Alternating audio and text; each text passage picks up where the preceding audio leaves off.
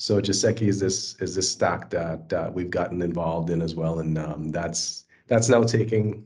I, I would say that it's taking the world by storm, and it's creating a lot of impact here back in Guyana, of course. And we're actively engaged in this partnership where to to further the mission of of Jaseci Labs there's also this ripple ripple effect whereby it's creating impact back home here in Guyana uh, to to create opportunity through the upskilling of local talent in the field of AI. And these guys are um, we just finished up an apprenticeship program. The focus there is more on the industry level, whereby these these engineers were able to build these amazing products over a matter of three months, and then um, and then they're being they're being hired now. So they're they're seeding uh, the uh, a team, a, specialized Jaseci engineering team based in Guyana that is that is going to be delivering towards the Jaseci Labs mission and and even the v75 Inc. mission because we're we're still um, offering our, our services to to clientele as well within the AI space. There's a there's something really special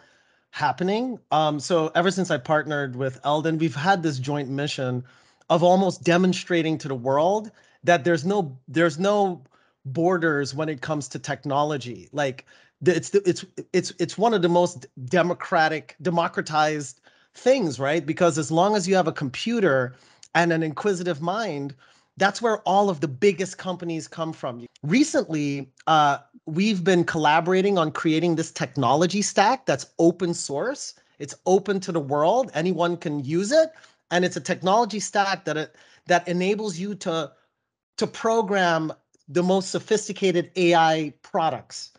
Uh, and so we we've taken the stack and we used it to teach those 200 um, uh, students in Guyana through the Spark program, uh, where we taught this Jaseci programming language and stack.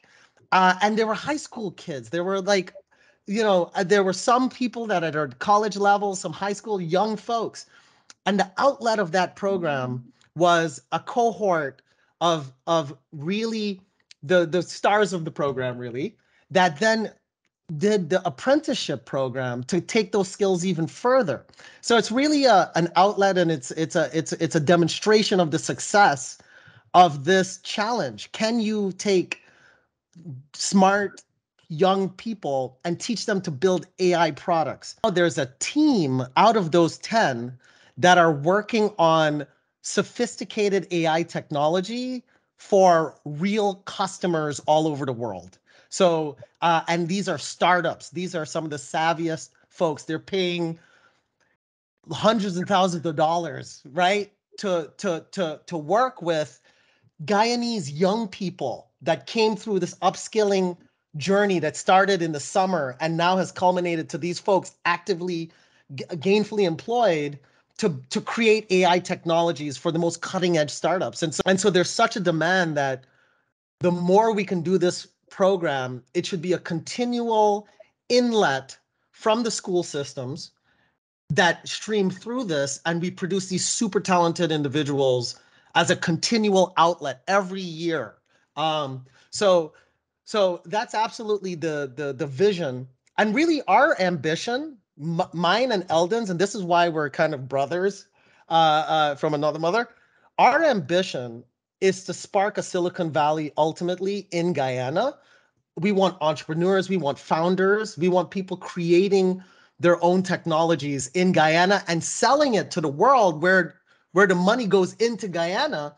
Because if you look at the top companies, the, the, the, the companies that drive our economy, our world economy, they're all tech companies like oil is great but the real oil is actually technology and software and computer science. And so we want to kind of spark that oil well um, ultimately. But this is this is how we step toward there. We've got to create these pipelines where you can upskill folks to be competitive at the highest level.